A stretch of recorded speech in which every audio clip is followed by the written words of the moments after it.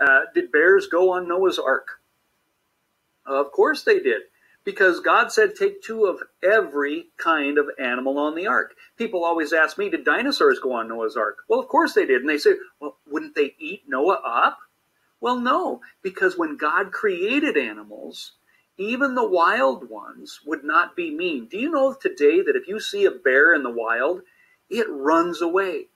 You don't need to be afraid of them. The reason that people get in trouble is oftentimes when those bears have babies, then if you get in the way, they will come after you.